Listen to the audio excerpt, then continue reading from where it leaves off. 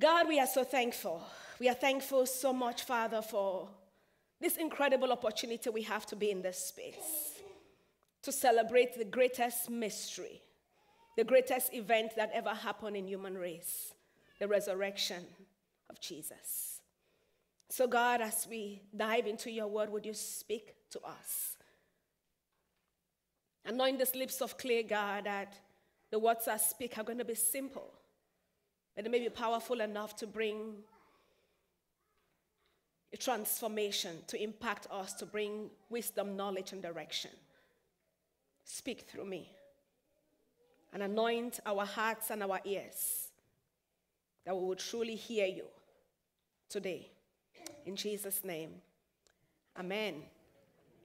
Uh, the past six weeks, so today's the seventh week, we've been going through a series on the I Am series of Christ, the seven I Ams that Jesus spoke. And, and my goal in uh, doing this series was to be able to just uh, remind us that Jesus is not just one of the gods that exists on, on earth. He's not just, Christianity is not just another relationship, that Jesus was actually God. At times, uh, as Christians, it's, we believe what we believe, but defending our faith is so hard. And Apostle Paul talks about being able to defend the faith you believe. And my hope just during this series was for us to be able to get to a place where we can defend what we believe. We can be able to like say, yes, I believe that Jesus is Lord, but this is A, B, C, D. Why I know and I know without a shadow of doubt that He is God, He is Lord, and that's why I chose Him. I'm not a Christian just because my mama was a Christian and I was, I was going to church from a, from a child. I am a Christian because I believe for certainty that Jesus Christ is Lord. He is the Son of God. And so we looked through, we saw that Jesus was the bread of life. Uh, in the temple, you always had bread in the, in, the, in the Holy of Holies. And that bread, which was a symbol of God's presence that the children of Israel ate, was a representation of who Jesus was. So we can't really get life, we can't get wholeness. Our souls cannot be nourished without this bread of life feeding us. We also saw that Jesus was is the light of the world. The world is in darkness if Jesus doesn't show up. And we saw um, um, on Friday during uh, Good Friday that when Jesus went to the cross and he died, when he was still on the cross before he died, actually, darkness filled the earth because sin had come upon the light. And so when the light now carries sin, it impacts the whole of creation. Even the sun stood still, the sun stopped shining, and darkness was upon the face of the earth. At noon, every place become dark because the one who is a light now was carrying sin and so everything else became dark and we also saw that jesus is the door he's the access to god nobody there's no other way to the father there's no other access and no because jesus is the access to the father he's the door it means i can't deny anybody from entering heaven only jesus gives access and so anybody has access to God. We saw that Jesus was a good shepherd. It's not like a shepherd like some of the shepherds um, in the Jewish context, or maybe even some of us like shepherds. He's a shepherd who loves, who cares, who protects, and who watches over his own. And we also saw that Jesus was the way, the truth. There is no other way to God except through Jesus. And last week, Eric did a good job showing us that Jesus was the vine. And so this morning we are looking at Jesus as the resurrection and the life. And I think it's just appropriate that today we look at Jesus as a resurrection and the life because this is Resurrection Sunday. And the text we read, I know some of you are like, why did we read that text? It's not resurrection text. We are going to read resurrection text later. But this is a text where Jesus declares himself, declares to the people that he's a resurrection and a life. And so Lazarus is Jesus' friend. And Lazarus has, if somebody is your friend, it means they have surely spent time with you. So has, he has spent time with Jesus, and Lazarus falls sick. And Jesus receives the news of Lazarus' sickness. Instead of Jesus going back to heal, because Jesus was a miracle worker, they had seen him heal the sick, raise the dead, do outstanding miracles already. Blind eyes had been popped open by Jesus, deaf ears were unstopped. So Jesus had done miracles. And so when when they are sending news to tell Jesus that Jesus, your friend Lazarus, is sick, they know that Jesus will respond. They know that Jesus is going to surely come because this is his friend. And there are times in our walk with God where we call and we expect him to show up at a certain time and it looks like he's delaying. Anybody ever been there? Where you called and you expected that God was going to show up like, and you know, and somehow Jesus takes his time. And I think he does that to us so many times, and, and I hate it when he does that. and so Jesus allows Lazarus to die. And then he tells the disciples, Let us go see Lazarus, he's sleeping. And Thomas was like, Well, if he's sleeping, and so then he said, No, he's not sleeping, he's dead. Then Thomas finally like, Okay, let's just go and die with him. this one that Jesus says, you, you, it was your best friend, and now you are saying that he's dead. You didn't show up, so let's just better go and die. This following that we are following like that, there might be nothing coming out of it. So they come and they go to see Jesus, and Jesus meets Martha.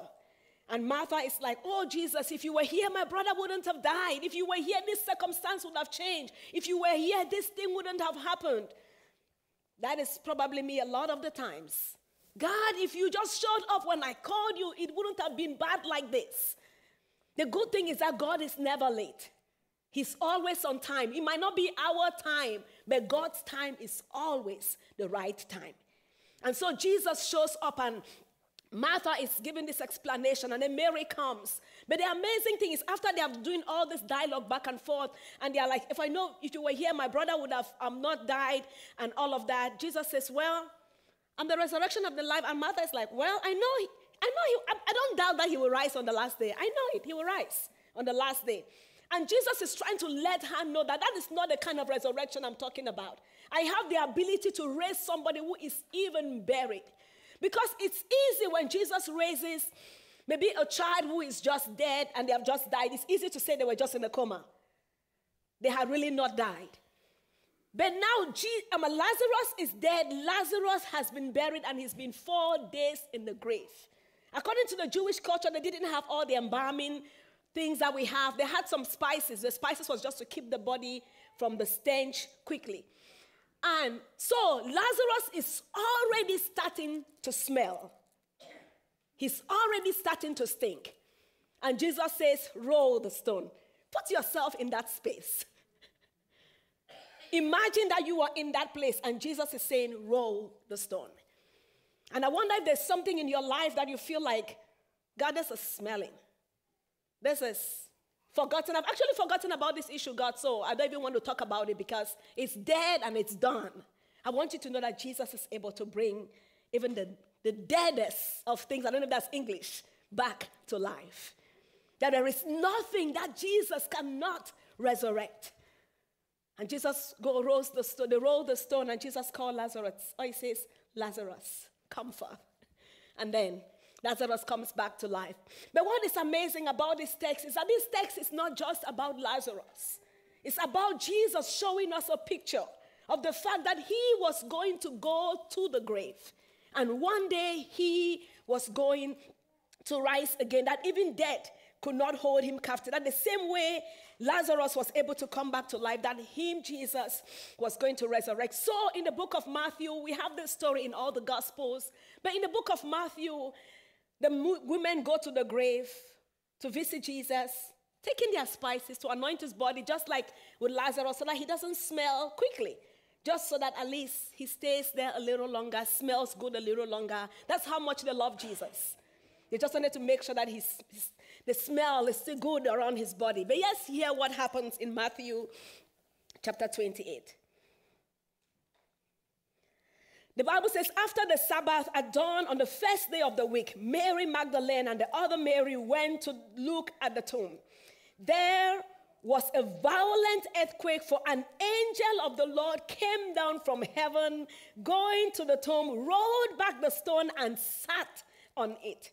His appearance was like lightning, and his clothes were white as snow.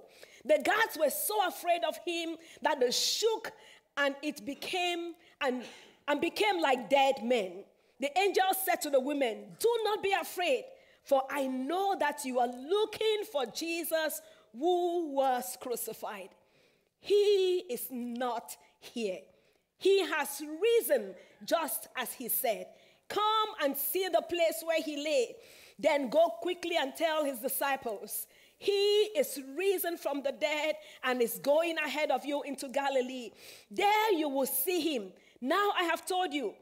So the women hurried away from the tomb, afraid, yet filled with joy, and ran to tell his disciples. Suddenly, Jesus met them. Greetings, he said. They came they came to him, clasped his feet, and worshipped him. Then Jesus said to them, Do not be afraid. Go tell my brothers, go to Galilee, there they will see me. Go tell my brothers to go to Galilee, there they will see me. So Jesus, Mary and the women go to the tomb to embalm, to anoint Jesus' body. And when they get there, they see something strange.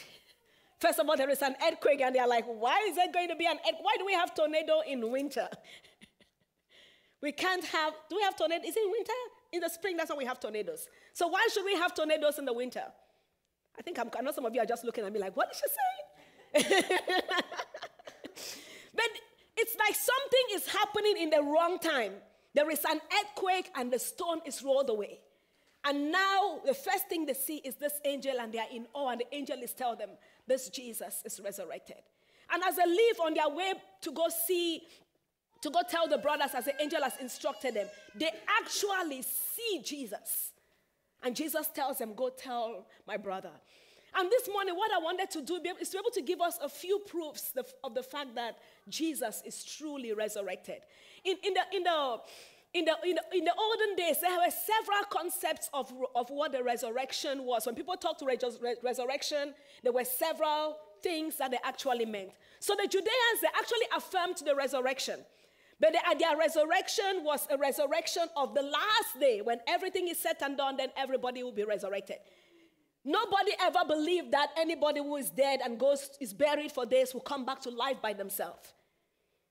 It's just like when John, when when when when uh, Mary's husband Joseph, when God encounters him and like say, hey, that thing that your woman, your wife is carrying is a child of the Holy Ghost. The reason why Joseph is a little confused is because he knows how women give birth.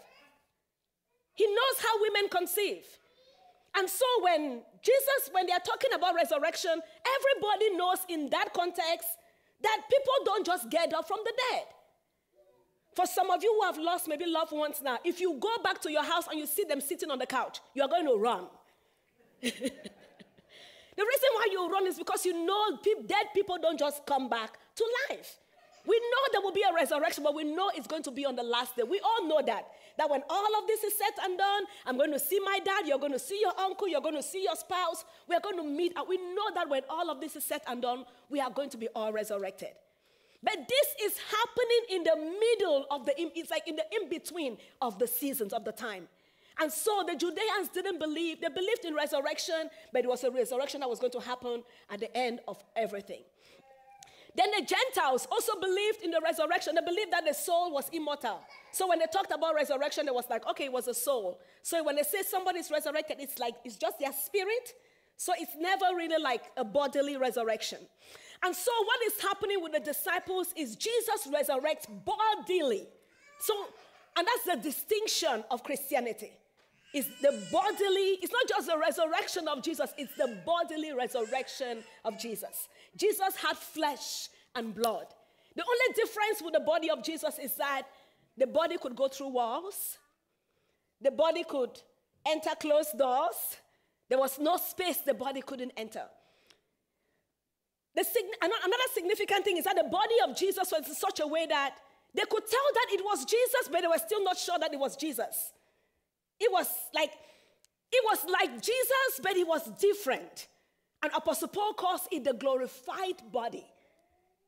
It was a different kind of, that's why people, when people have had like a near death experience, they'll say, Oh, I saw my auntie. They looked like they were 15. Maybe they didn't even see them when they were 15. But there is something about the body that is different. But it's still the same person, you can recognize them. And so Jesus rises from the dead and he has all of these appearances. So let's look at some of the different appearances that prove the resurrection. And I would have loved to go to, oh, let's, let, let me start a little, I'll come to the appearances. Let me do a little, a little history. Most often in history, if you want to prove that something, uh, like that something is truthful historically, it has to be have something that has happened in the first 100 years. At least there is um, uh, eyewitnesses of that event. There is uh, testimony of people who had been there.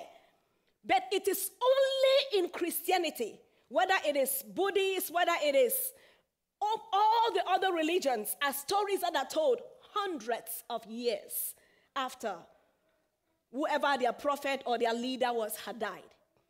But in Christianity, the first thing is the Gospels, the first three Gospels were written in the early 30s up to 50. The book of John was written like 70 AD. So the book of John is actually the oldest of the Gospels. But all the others were written, and those who read it, eyewitnesses of Jesus' death and resurrection, were still alive. Actually, when Paul is writing to the Corinthians, he tells them, Go and ask those who were there from the beginning. So there are eyewitnesses of these events that the believers are talking about. It's not just a story, there is eyewitnesses of the events that happen. And it's not only the Bible that says it. If you read um, several hist- historical books, even atheists believe that there were authentic stories of people who had seen Jesus resurrected. And so, what are some few scriptures that show us and prove to us that Jesus truly resurrected bodily? The first one is the story of the women. In the Jewish culture, the, sto- the testimony of a woman doesn't have weight. If you actually look at Paul's testimony in the book of Corinthians, Paul doesn't mention the women because towards the early um, uh, um, uh, century after have, the first the, the first 30 years had gone, they started wanting to, it's like we want to like do something to like really show, to show this testimony that there were other men who saw it and not just the women. So Paul doesn't really talk about the presence of the women, but the women were the first. And so, if the apostles could tell the story and put women as the initial witnesses, it must have been really true for a culture that did not believe or value the testimony of a woman. The second thing is the other disciples, who it wasn't just the women who saw Jesus, the other disciples who came, Peter and the other one I was reading yesterday and I was laughing because Peter said him and the other disciples were running, but the other disciples ran past Peter. I don't know if it was because he was older or he just couldn't run as fast as like me. Uh, the other disciples ran past him, got to the temple, but there were other disciples who saw Jesus. The 12 saw Jesus several times. They actually had a meal together. So there were other disciples who saw Jesus.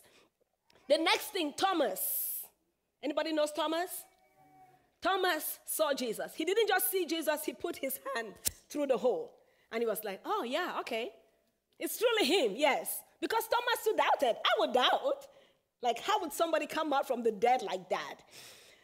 But then the disciples on the road to Emmaus, when they were going to Emmaus, they had an encounter with Jesus. And they're like, oh, wow, it was him that we saw. They talked with him, ate with him. So it wasn't just a ghost because you don't eat with ghosts. Ghosts don't eat our kind of food. They talked with him, ate with him, and feasted with him. And then when Jesus opened their eyes, they're like, oh, yeah, it was Jesus. And they went back to worship him. So the disciples on Emmaus.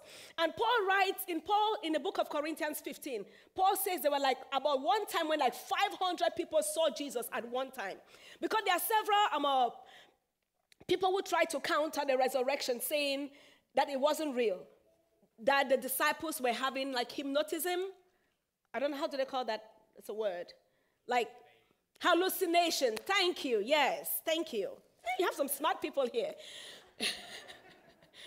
so that they were being, they were hallucinating. They were really not seeing Jesus. They were hallucinating. But 500 people cannot hallucinate at the same time.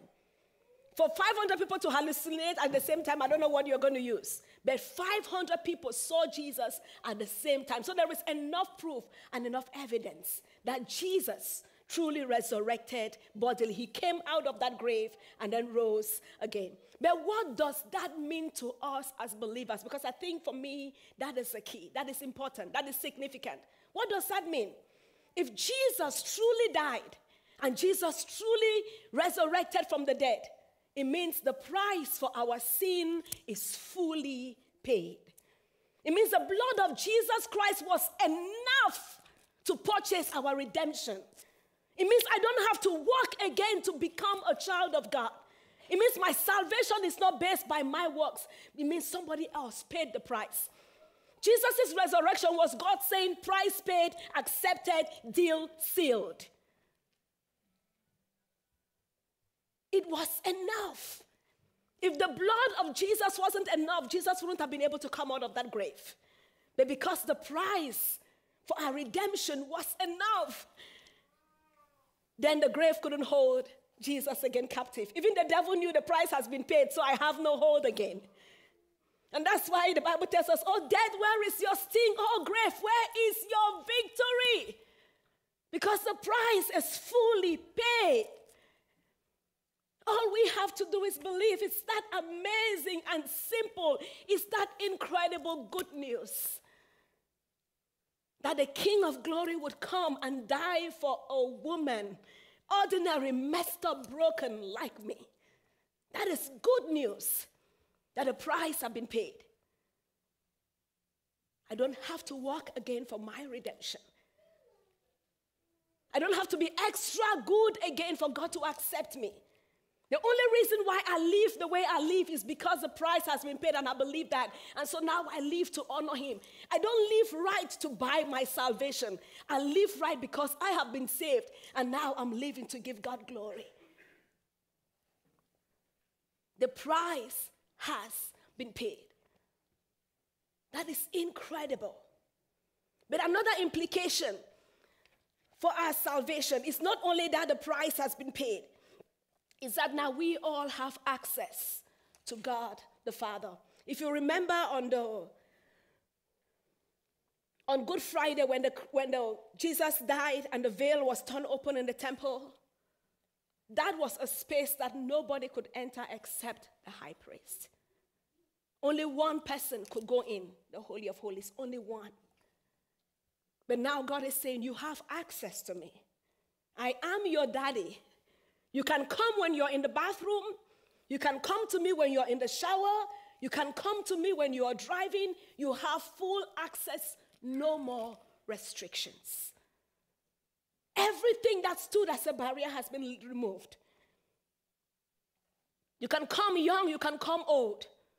You can come when you have messed up, you can come when you are living holy. But it says full access has been granted. And we all can come boldly to this throne of grace and find help and obtain mercy in time of need. We all, no exemptions. Isn't that amazing? Most places where you want to go, if I want to go see the president now, the protocol is going to be incredible. It's going to be from one protocol and next protocol and next protocol.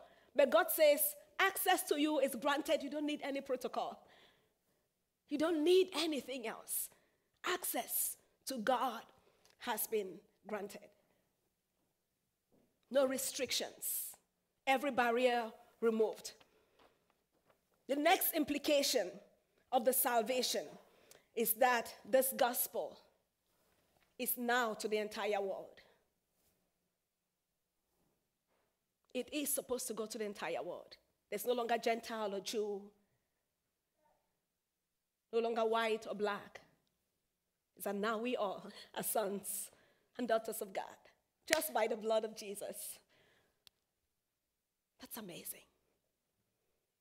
And a few things that I didn't talk about in, in, in there, and I think that are so important in, in, in the proof of our salvation. Let me just finish. No, th- th- thank you so much. Can you just, let's just go to the implication and I'll go back to those proofs. The next thing is that we do no longer have to walk in bondage. We do no longer have to walk in sin. We do no longer have to walk enslaved. We do no longer have to walk in condemnation. We do no longer have to believe the lies of the devil.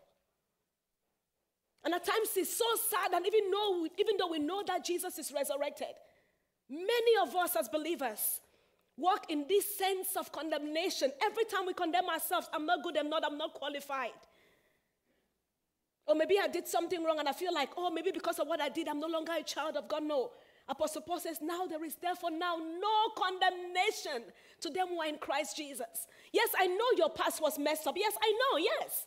Do you think Jesus doesn't know? He knows. But somebody has paid the price so that you can walk in freedom. You don't have to walk in guilt, in shame anymore. You can walk with your head up. You can walk with your shoulders lifted, not in pride, but because the price is paid. Somebody say, Oh no, I knew you 20 years ago, Velma. You was, remember your high school life? You used to drink and get drunk. Oh, yeah, that Velma, she died. This one, it's a new creature in Christ Jesus. She's been redeemed, she's been set free. There's therefore now no condemnation to them who are in Christ Jesus. And even today, if it happened that I stumble, I can pick myself up, clean myself, and keep going and not allow my mistakes and my failures to hold me down. Jesus died, resurrected for your freedom, for my freedom. The next thing, implication about the resurrection is that now we have become resurrection people. Is that now God's kingdom now lives on earth. Christ in us, the hope of glory. Is that now you don't just walk as a child of God, is that you walk as a carrier and as a temple of God. So when you go to your office, God entered your office with you. When you're in your home, God is in your home with you. When you're chatting with your friends, God is right there with you. If we would truly believe this thing, it will change how we show up in life. That Christ in you, Christ in me, is the hope of glory. Do you really believe that Jesus is in you? Like, do you believe it? I know some of you are like, yeah, I believe it, but. Don't add the but. but, you know, sometimes I just still feel guilty. I just feel like I'm not. I just feel like, no. Jesus did it. Christ in us, the hope of glory. Now we are resurrected people, and God's kingdom now lives in the inside of us. And this is so important. Let me go back to some of the proofs because if the early church, the early believers didn't believe it, all the apostles died as martyrs. All of them. Even John who ran to the island of Patmos and survived for a certain time. All of them were, why would you be killed for something that is not true? Why would you have to die for something that is false? But all of them were willing to lay their head down because they believed and they knew that Jesus truly resurrected. The early church exploded in growth, even amidst the intense persecution, because they knew and they believed that Jesus truly resurrected. But to me, above all, the testimonies of transformed lives that are happening every day around the world. That Jesus is still alive in the power of the Holy Spirit, changing people, people's lives, taking sinners and making them saints, taking broken and messed up people like me and calling them to ministry. That Jesus is still active in the world today. It's only because of the resurrection. That even today, lives are still being changed. Even today, lives are still being transformed. And it means there is no sinner that is so far from God. It means a loved one in your family that you have been praying for, you can't afford to give, give up because Jesus is still actively at work today to change lives. If God could change me, a few of you have heard some of my stories. If God could transform my life, I don't see any sin that God will not change. God is still actively at work because of the resurrection power of Jesus. That is enough proof of the resurrection. And you all are seated here today. I know it's not just because your parents came to this church. It's not just because your mama went to church. It's because you believe. You've seen God at work in your life somewhere, sometime. That is proof of the resurrection. So, this thing that we believe, it's not just because we are part of a group. It's because we know and we know without the shadow of doubt that Jesus truly resurrected. So, this Jesus that we serve, He's not a martyr to be pitied. He is the King of glory. He is the one that even the grave could not hold captive. He is truly the resurrection and the life. He's the one that is actively in the world today, everywhere around the world, encountering people, changing lives, transforming lives, delivering people. He's the one that is still in the world, healing the sick, setting the captives, opening blind eyes, doing incredible miracles all around the world. Even in nations that are the closest, Iran is one, has one of the, the fastest growing churches in the world. But Iran is one of the most persecuted nations because Jesus, the resurrection power of Jesus, is active and transforming everywhere, anywhere, without limits. There is no barrier that you can put to stop Jesus from working. There is no restriction that the government can put to stop Jesus from working. Because if death could not hold him captive, what else can stop him from doing what he does? Let's bow our heads and pray.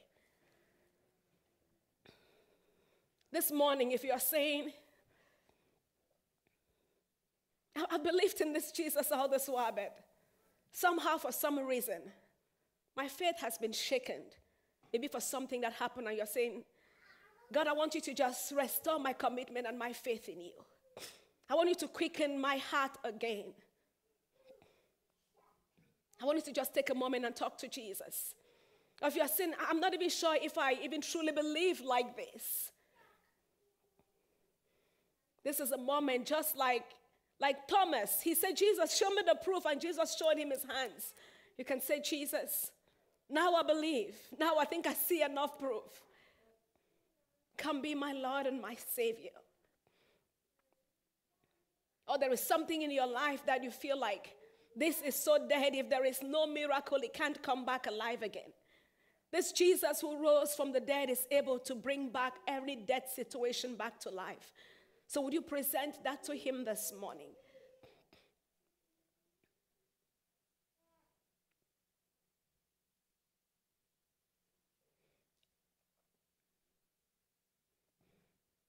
Lord Jesus, here we are, your sons and daughters. Pray for anyone, God, who, for some reason, maybe have believed the lies of the enemy about who they are as a child of God. And their faith has grown weak. I ask that you will quicken their spirit again. Let there be a revival in their hearts, even now, in the name of Jesus. Restore broken relationships with you, Father. For those who haven't truly ever encountered you and truly come to know this experience, this salvation and transformation that we talk about, that this morning, that it mark a new beginning. And I pray for anyone who is going through something in life, who is dealing with something that feels hopeless. Breathe your life. Let your resurrection power, God, even now be activated and released into that circumstance. Let life come again. Whether it's in health or businesses or jobs, God, will speak life into those circumstances in the name of Jesus. Into relationships that are dead and broken, will speak your life. And we thank you that you are our resurrection and that you are our life and that we can trust you in every situation. In Jesus' name, amen.